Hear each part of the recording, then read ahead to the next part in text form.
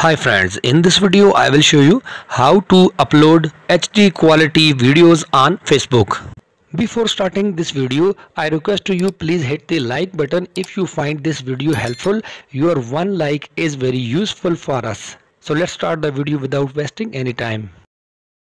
First of all, open Facebook application on your mobile and tap on three dashes top right corner of your Facebook ID.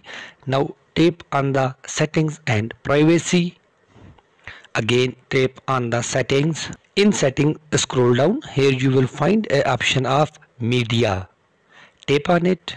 In media you can see two options. First is optimized and second is data saver in data saver there is clearly written use up to 40% less data by reducing video quality. So if it is already checked uncheck this option because it will use 40% less data. That means your video quality will be reduced to 40% mean if your video quality is 100% 60% of your video quality will remain and 40% video quality of your video lose. Simply check the optimized option in optimized option there is clearly written adjust video to network conditions. Means if you will upload your video now after selecting optimized option if you are using sim data or wi-fi now facebook will use full data